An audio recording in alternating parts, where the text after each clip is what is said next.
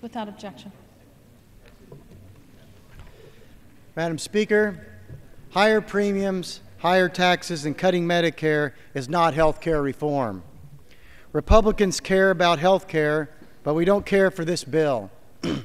Unfortunately, the White House and congressional Democrats are still insisting on their massive 2,700 plus page bill that includes higher premiums, 500 billion in higher taxes, and 500 billion in cuts to seniors' Medicare.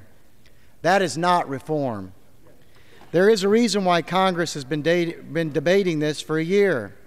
The reason the majority is having such trouble securing passage is because the Americans, the Americans have, have made it abundantly clear that they don't like this bill either.